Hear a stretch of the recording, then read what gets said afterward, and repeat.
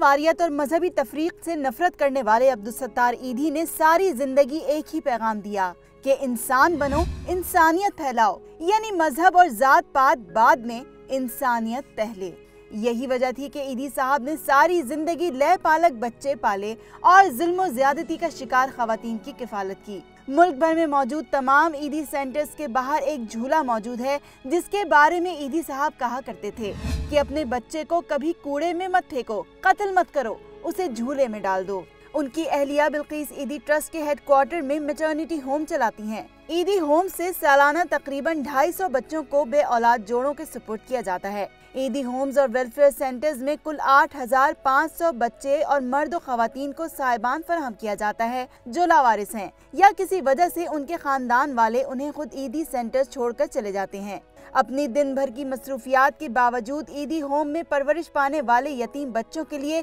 अब्दुल सत्तार ईदी कुछ वक्त ज़रूर निकालते थे। आज सिर्फ़ ईदी साहब के बच्चे ही यतीम नहीं हुए, बल्कि वो तमाम अफराद यतीम हो गए, जिनके सर पर उनका दस्ते शफकत होता था।